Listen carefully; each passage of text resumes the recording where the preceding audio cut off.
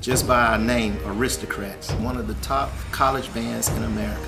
We've had an awesome band for years. Now we're at that point where no one else can touch us. And if you don't know what aristocrat means, I suggest you go to a dictionary and that would tell you all you need to know. We got it going on, we're gonna keep it going on. This is ASU baby and that's just how it goes. We went to Montgomery and stole home field advantage last year, so I'm really not concerned about home field advantage. Every band comes in here, they feel like they can run things, but you know, they did okay. We were the last band to leave the stadium. We stayed in the stadium playing and they ran out of music. We got the haters, but I don't have haters. If we don't have haters, then we don't know what's going on. I love haters. Well, that's the problem right there. You got too many haters, no fans. We love the haters. Haters, we love you.